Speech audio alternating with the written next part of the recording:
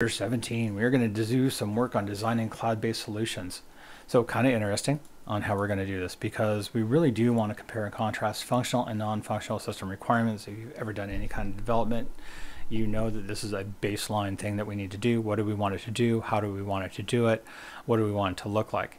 You need to understand why developers should delay selecting an implementation platform during the design phase because really you just want to focus on what the components are going to do and how they're going to interoperate with each other and then discuss considerations designers should evaluate when they design a system meets specific non-functional requirements.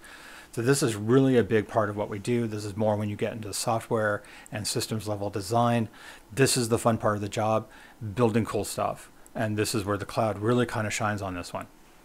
So before you begin the design process, ensure you have a complete set of system requirements Anyone that's ever tried to do requirements gathering at a company knows that this is nearly impossible to have a complete set of system requirements. The best thing you can do is try to hit about 80%, do an 80-20 rule, and then keep your scope straight right? Figure out what it is you really, really need to do and then stick to scope. You're going to have a million people that are going to try to scope creep you. They're going to want something different. They're going to want to go, why didn't you talk to me when you did? There's going to be a lot of pushback on what you're building. But if the requirements are defined by another group or review, make sure you understand them. Make sure that you really understand them. Make sure you know what you're building. You know, ideally, you're going to have a senior level a leader who's the champion of the product. Ideally, you're going to have stakeholders who will serve as the expert on those requirements specification. That will be part of your build team you really do want to have these people. If they provided input into your system requirements, they need to be part of the QA team. They need to be part of the beta testers. They need to be part of the alpha testers. Make sure they're there and testing. Make sure they have the time to test. Right. That way, if you identify any errors, omissions, or misunderstandings early in the design process, it's going to save you a lot of time and money later on. Now, the good part is that if you do a standard modular design, inside the cloud, if you do a serverless environment, if you're doing functions, a lot of that process in terms of CI/CD is actually going to be pretty straightforward. You are going to be spending money on it, but it's not going to be that much to fix little omissions and little errors. It's when you build the wrong product for your company that this turns into a real interesting process. So there's kind of two categories of requirements, and hopefully you guys know that. That functional requirements specify what the system does, right? Normally you're going to get this from the business workflow. You're going to have to understand how the system or business analyst passes data back and forth, or how it works on data, or how it manipulates data, how it stores it, how it's used, how it's presented to the user. Those are all the function requirements. What does the business workflow for that system look like? And that can turn into a huge, huge thing right? You're going to have a whole bunch of flow diagrams. You may have a work breakdown structure that ties to that. You may have a lot of things that go into that functional requirement.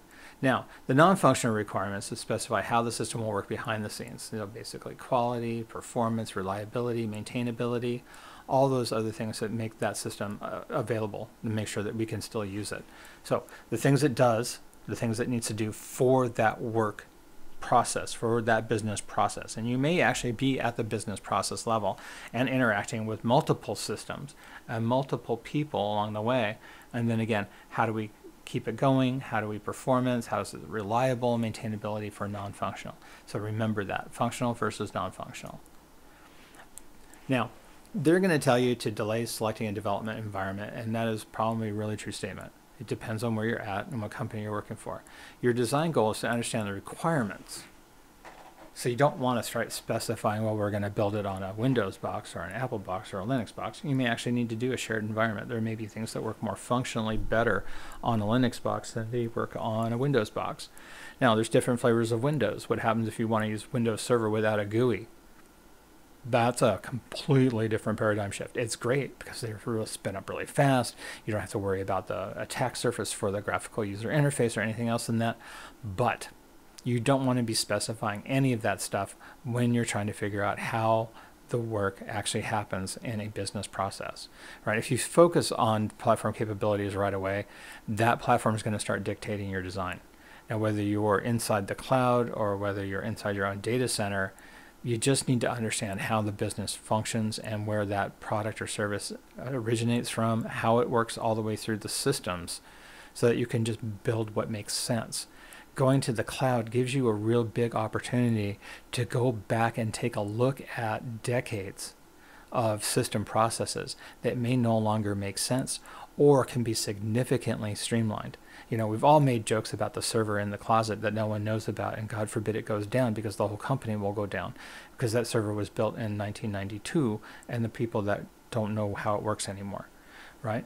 That's kind of part of what we're trying to do here when you move something to the cloud and that whole workflow for that whole product or that whole service it gives you the opportunity to identify all those servers in closets that no one knows about or no one knows how they work anymore because the people who built them and designed them no longer work for the company.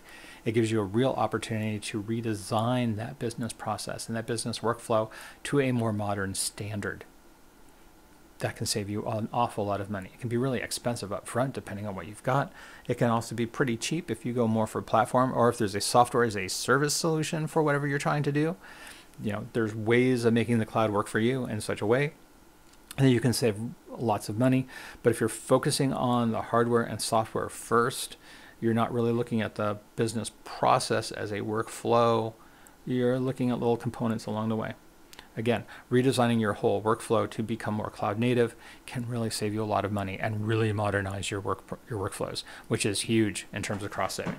Now again, design, give and take, if anyone says it has to be this way and it has to be this way only, kind of go back and question why, right? So designing a system is challenging. Boy, you are going to get a lot of feedback. You're going to get a lot of people that says it has to be this way. You're going to get a lot of people saying, well, we've always done it this way. And budget and time constraints means you cannot solve every problem. Focus on the workflow, focus on modernizing that workflow, and understand you're going to be crossing a lot of political and power barriers along the way because you're going to be looking at from customer through manufacturing to finance to accounting to business unit to however it goes in the company. So you've got to consider common design issues, help the stakeholders prioritize those solutions, and then remember the 80-20 rule. 80% of your program's processing takes within 20% of the code. You're going to want to focus on system design that will produce the greatest impact for all of the stakeholders. That can be really politically sensitive to do. So give and take. Just be prepared to give and take. Be prepared for a bunch of things to become really political super fast that make no sense for the design that you're building, makes no sense for the workflow, but for how the company operates politically makes perfect sense. Just be ready for that. It's going to be a thing. It's going to be a big thing. It may be something that stops you dead in your tracks for a couple of days while everyone tries to figure it all out. And that's okay right? This is a, we're all a big group here. We're all a big collaborative group here. And there are political boundaries and political barriers to any new system that you build and design and install. You also want to design for accessibility, right? So public solutions such as consumer, you want to maximize user access so that you can get everyone in there, including Americans with Disabilities Act. Right, so make sure that you've got an opportunity to really go through and design for ADA. Make sure you've got popovers right? So when you have a highlighted section, you can actually hold your mouse over it and you'll see that you know, there'll be a popover, learn more or whatever on that. You'll also notice that a lot of websites now, uh, especially in education, you have something you read, something you listen to, something you can watch. All of that is ADA accessibility issues, right? We generally know that these things work, but we wouldn't do them to such the extent that we do them now if it wasn't for the Americans with Disability Act.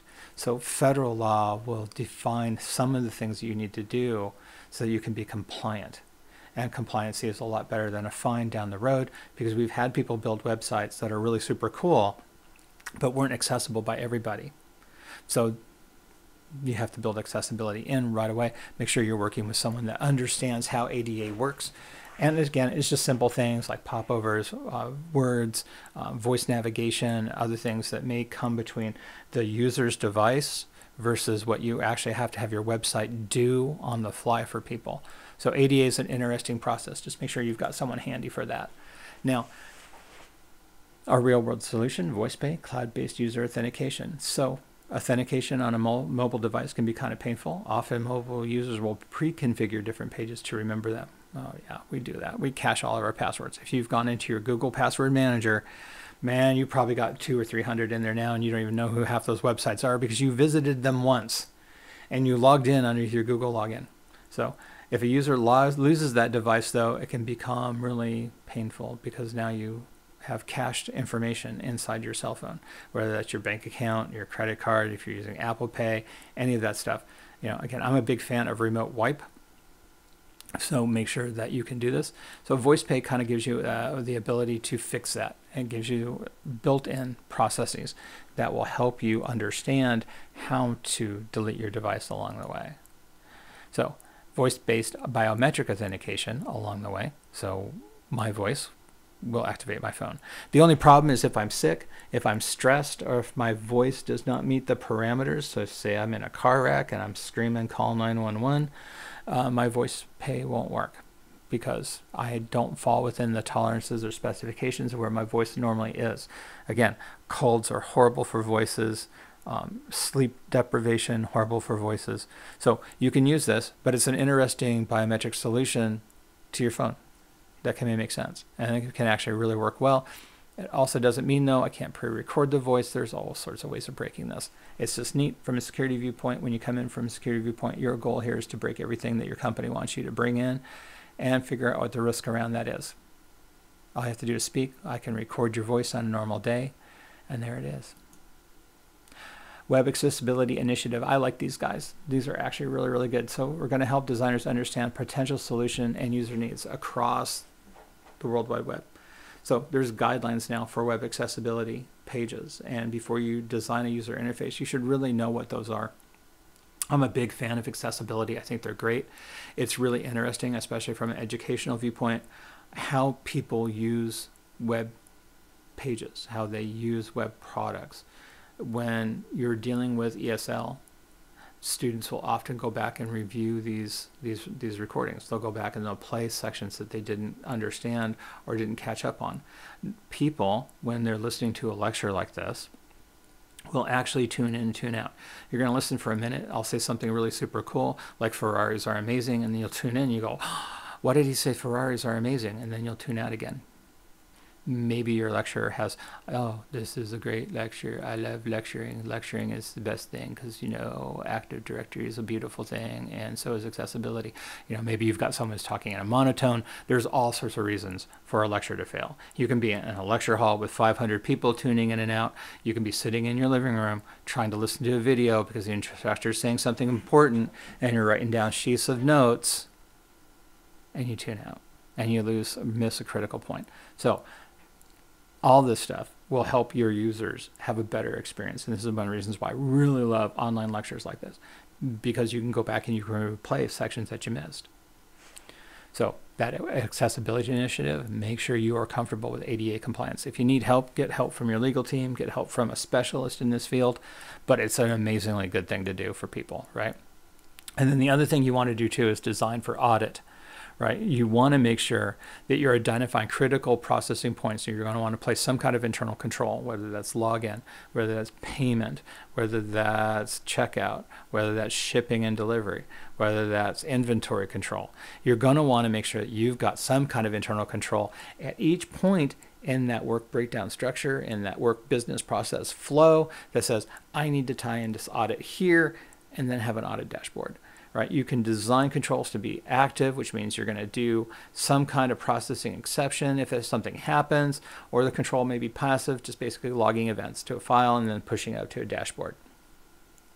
People will love you if you do this. And again, your ability to move into the cloud when you're designing for the cloud gives you that opportunity to rebuild that entire workflow and you can put audit parts in there and it will just make your life easier. If you do it now, if you're doing it on design, you're going to make sure that you've got all your controls. You're not going to have to go back and try to do this later. Retrofitting is painful. If you design all the stuff up front, inside, you can get all the feedback, all the things that you need to know, all the things that other people need to know, and you can just build those dashboards as you go. You can build those audit points inside your solution and make everybody happy.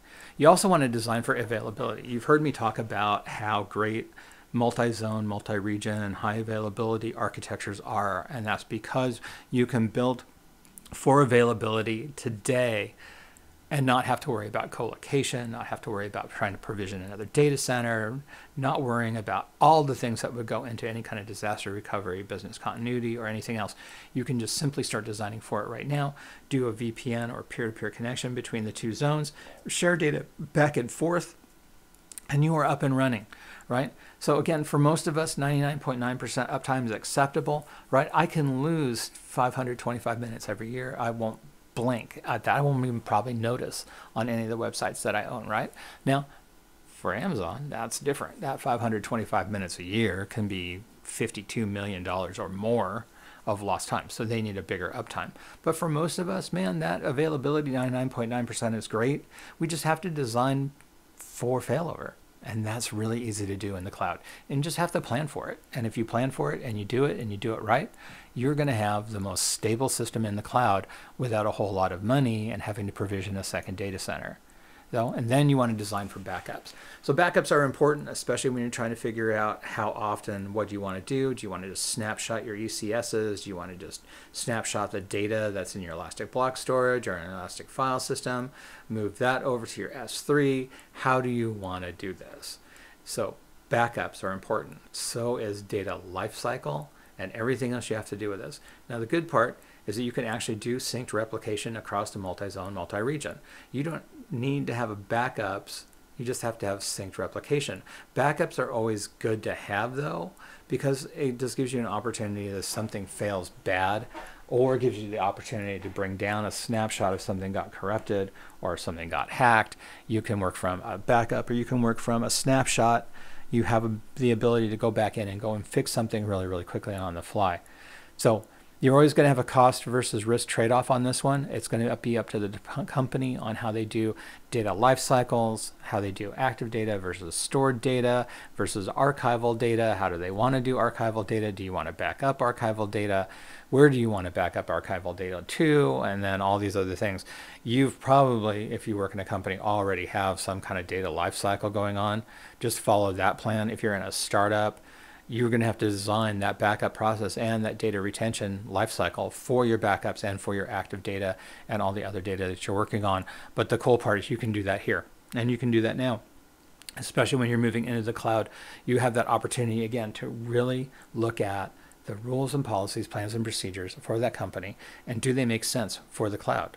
Right? They may make perfect sense for your data center, but they may not make perfect sense for the cloud. Now, design for future and existing capacity right? So if you're moving an existing on-site solution to the cloud, you've got to monitor your application all the way through, which is where that design for audit comes in.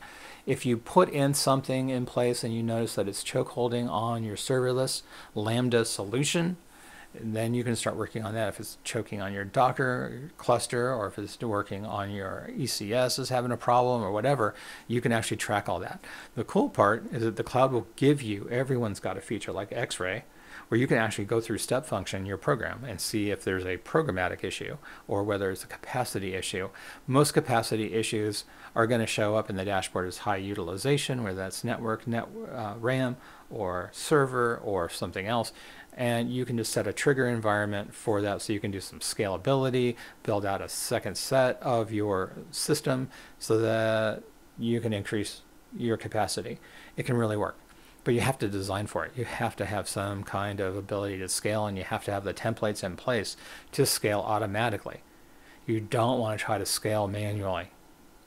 You want to take advantage of the cloud and automation, right? Scale and descale as you need to. Elasticity is a beautiful thing to have. And then make sure that you are doing a thing. So there's actually two kinds of scaling here. First, you can scale the application up so you basically are moving the application to a faster, more powerful processor. This all depends if you've got a single, single application running. I've seen more horizontal scaling where we're just going to distribute everything across different servers. So we'll have an environment for logins, we'll have an environment for databases, we'll have an environment for network, firewall load balancing, DNS, and everything else. We'll horizontally scale as things happen, and then we'll horizontally descale as things happen. So your elasticity can either give you a bigger hardware or give you more hardware. Most of the ones I've seen is more hardware, more low cost, cheap hardware. Most on the tier two free level, especially if I don't need a whole lot of IOPS, if I'm not doing high performance computing. man, just treating my servers as disposable really makes life a lot easier and can actually save me money, especially if I'm working at T2 or tier level, which is really super small, working through all the way through. then you want to design for configuration management. Ideally, cloud-based solutions will be used at any time, any place with any device. So plan for mobile access, plan for desktop access, plan for all those things on how people will access content nowadays. Most of us are going to access it through our cell phones now. Some of us are going to access it through desktops. Depends on where you're at. Your developers need to figure out what they want to design for. You're going to have device specific graphical user interfaces. You're going to have operating systems and browsers. You're going to have people that are going to come through with something insecure. There's going to be patches, security issues. And then each time we release a new version, to have to go through that process, right? So if you're designing your own solution, you're going to want to layer configuration solutions on top of your system. There's actual templates for that. There's ways of managing configuration management.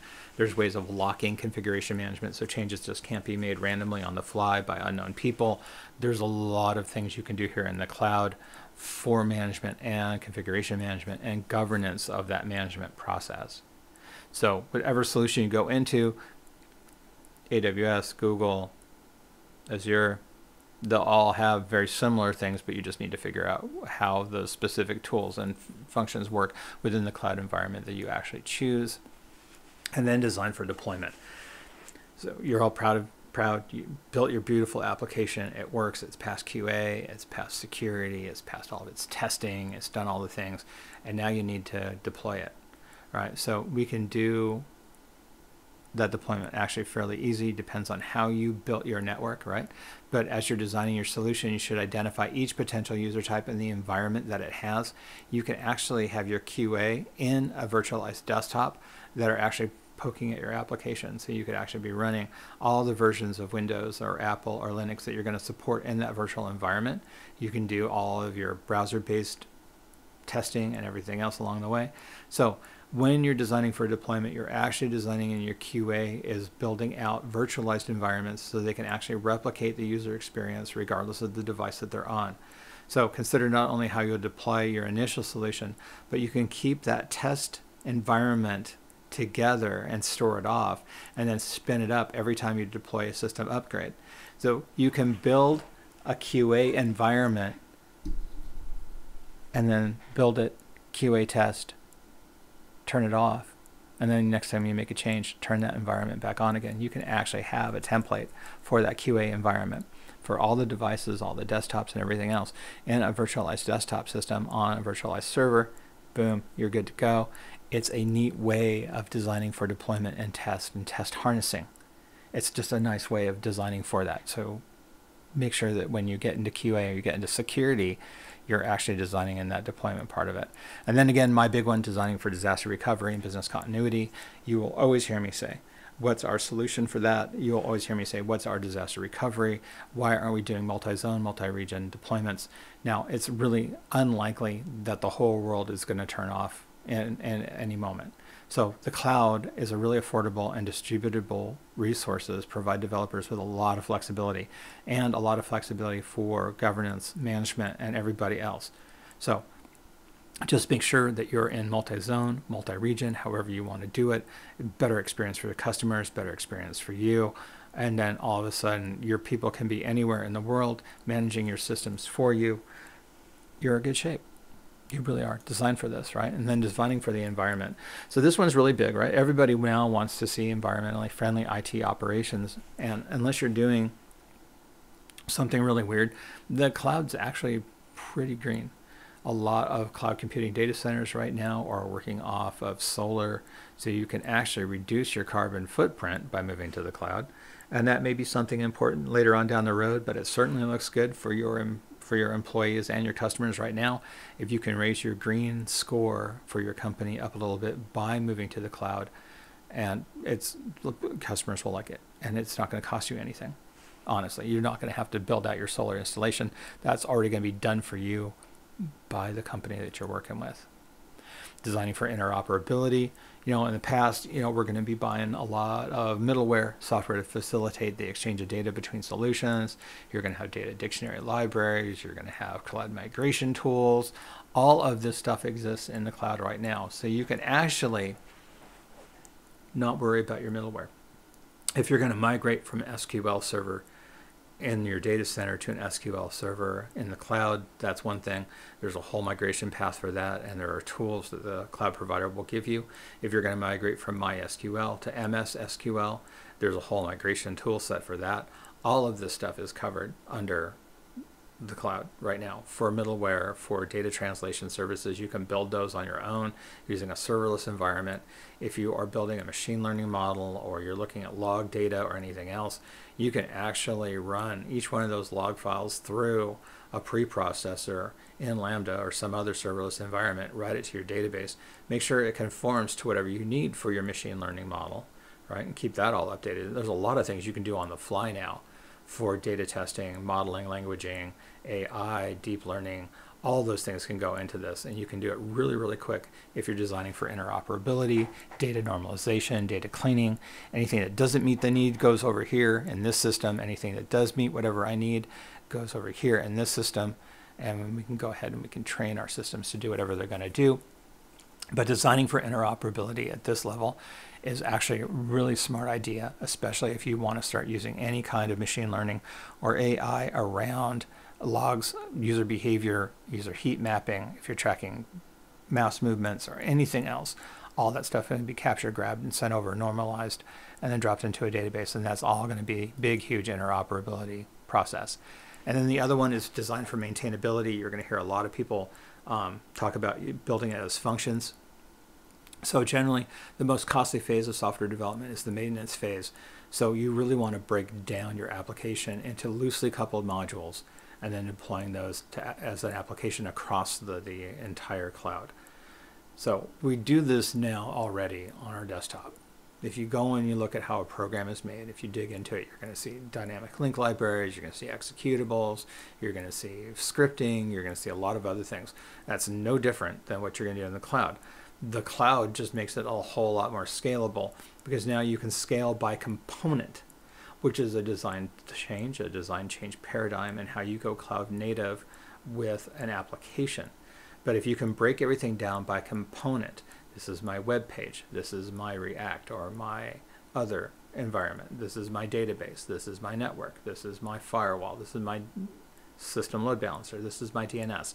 You can make these systems easier to maintain and a lot easier to spot the problem if there's a problem. So I really do think that this whole idea of loosely coupled modules and then deploying these solutions as applications really makes a whole lot more sense.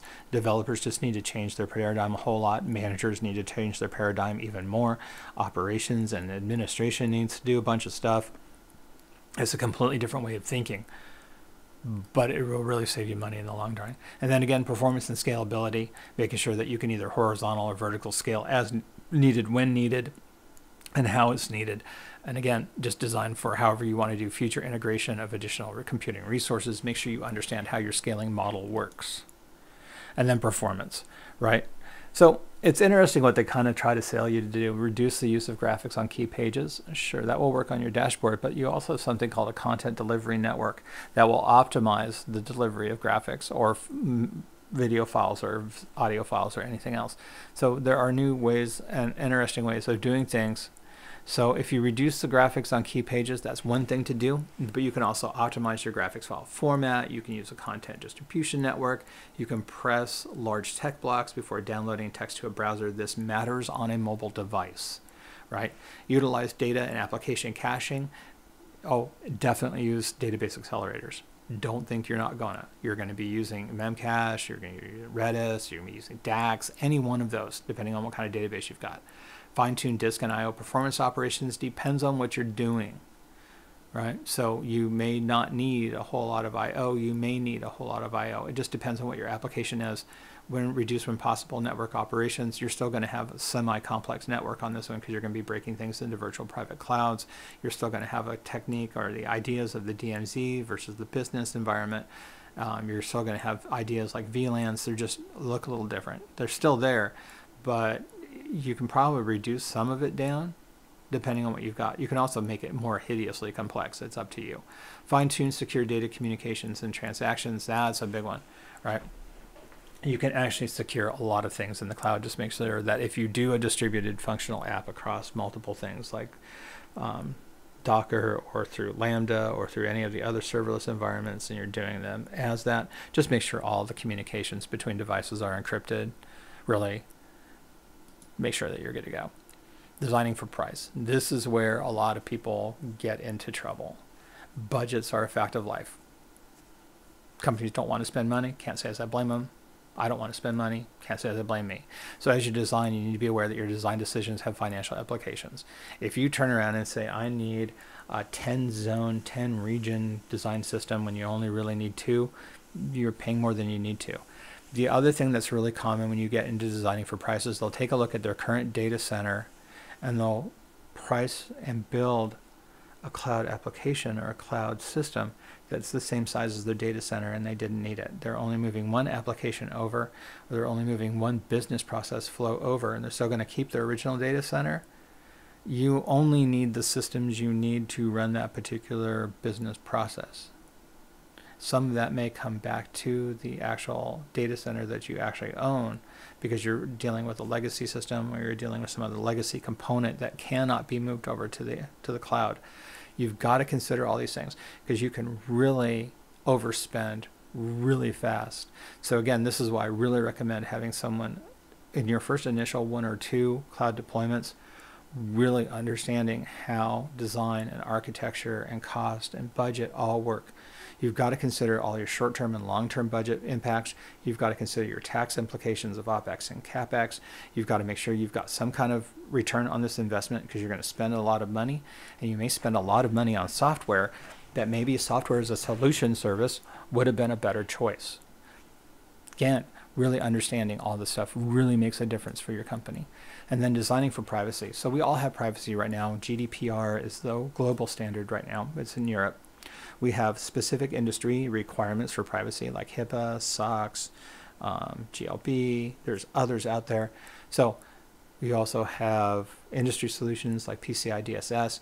You've got to make sure you're meeting all those as well. So you may have a legal, regulatory, or industry standard process that you need to meet. Maybe you're trying to meet some ISO standard. All that needs to be understood as well before you move to the cloud, before you even get to the design phase. What are all of my regulatory requirements? And start building those in as you go through the process, either as internal controls, while you're building for audit, and then anything else that you would normally do along those processes. But really understanding your regulatory environment will make your cloud deployment a lot easier. Then designing for portability. And you want to make sure that if you need to go to another data center, say you're really super popular and decide to open up a third or fourth cloud region or cloud zone, and you want to make sure that you can just move all your stuff over, that's awesome, right? That's exactly what you're designing for. Make sure that you can do either as an AMI, an Amazon machine image, or some other image that you can just move it over to your new data center because remember cross region data centers often do not talk to each other you'll have to lift and shift some of your stuff over and that's okay if you're designing your own solutions be aware of any api that are provider specific that may not be available through other providers, especially if you're opening up in a foreign country, a country that may not have the ability to work with whoever your system service provider is. You may need to go through a VPN. You may need to do something else to make sure that your application is fully portable globally. And you got to start thinking about global. Designing for recovery.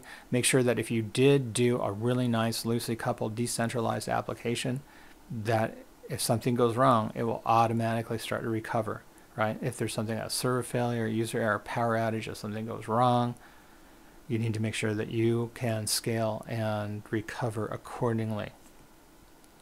Your recovery design should should tie closely to your backup design, right? So essentially, anything you've got for business recovery, business continuity, make sure you've designed it in well. Designing for reliability, making sure that if something fails, it will automatically, automatically be replaced by something new. If you see something go down, it will automatically self-heal That is another important part of this that's new. We don't think about our data centers as self healing, but now we need to start thinking about our data centers and our code as self healing.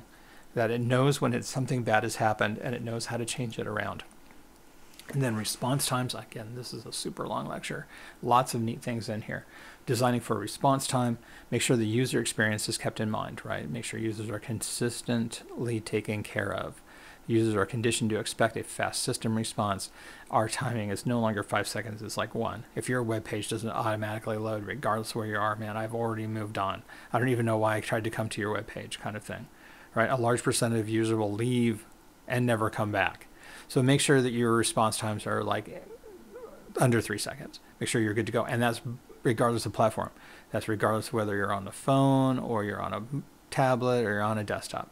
Now, the one good thing about the phone, though, is that sometimes people will understand why you're a little slow because they will go and they'll look at the, how many bars they've got at the top of their phone. So if they see one or two, they'll expect a slower site. But boy, if they see five and you're slow, they're gone. They're already gone. Designing for robustness, and I like this one because it's site's ability to continue operations in the event of an error system failure, such as server or database error or something else. Make sure you've got part of this as your disaster recovery business continuity process because things will fail in the cloud and you may end up having a database that dies for whatever reason. You need to be able to promote from your primary database to a secondary database. You need to be able to promote that whether it's a read replica, whether you can then change it over to read write. You need to consider automating system resource utilization always, always, and then have alerts that mon- that let the system administrator know something's happened, but that it's self healing and will take care of itself. Designing for security, I like this one the best because this is where I live. Software patch installations, patch management, cloud personnel, early awareness of security incidences, data privacy issues, jurisdictional issues, there are a lot of things that go into security. It is its own discipline in its own right. Cloud security really adds some interesting frontiers to how we're going to work in the cloud and the way we work in the cloud and why we work in the cloud. So you definitely want to keep up on this and you definitely want to have people with the skills for this, but just be really aware that a lot of the things you do inside your company now, you're going to have to do in the cloud. The cool part is that you actually get to leverage the security of the provider. They probably are going to have better security people in their company, and you can really leverage that expertise by using your scorecards, by designing for the whole process to begin with, and making sure that you audit your stuff and that if the company sends you a note saying, hey, you need to check into this, that you actually do. Now, it's unlikely that your cloud provider is going to fail if you're working with one of the big three, but you need to be aware of it if you're working with a smaller company. Right, so make sure you've got something going on. There may be multi-tenant solution issues, and that is you may have a tenant that's misbehaving and the provider did not catch it fast enough. So just be aware that there's encryption all the way through this process that you need to do. Defense mechanisms for common low-level network attacks, denial of service is the most popular one. So there's just ways you can buy the service now. Make sure you're taking care of for denial of service. Now, what's interesting too, data wiping for shared storage space, they're not going to let you walk into their data center. They're not going to let you run file wipe on their network attached storage. There are lots of things that are not going to happen. You have to take it on faith and you have to take it on the fact that they have compliance. And if they say they're, they're SOC 2 or they say that they're HIPAA certified, whatever certification, that part of that is a data wiping process, right? Especially for shared storage space. They also are probably going to have really, really, really good physical security. Those data centers will be locked off. Not just anyone can wander in. People will have biometrics. They'll have swipey cards. They'll have all the things that they need to have for physical security. And then designing for testability. This is another one of my big ones because it goes right into testing for auditability, goes right into compliance and conformance. It goes into the heart of what we're doing. If you can test, you can monitor, you can manage, you can do all the things you want to do you just have to make sure that you're actually allowing for your test people to do the things they need to do along the way. So you want to make sure that when you're building, you also have really good test harnesses and test framing for what you want to do. So the system's non-functional requirements are the most difficult to test because you're not really going to be able to test what happens if something happens, right? say a hard drive fails. What you can do though is you can shut down um, part of it and see what happens will the system self-heal if you shut down the serverless environment that's using to pre-process data? What happens? You can do that with a test in the cloud, but you really may not be able to do inside of a, a local data center because you designed it differently. So all those things you can design and test depending on how you did the functionality, um, how your methodology for test-driven design is being used, and everything else. Build a solution that can satisfy the test, and again, that's either through test harness or whatever process you use.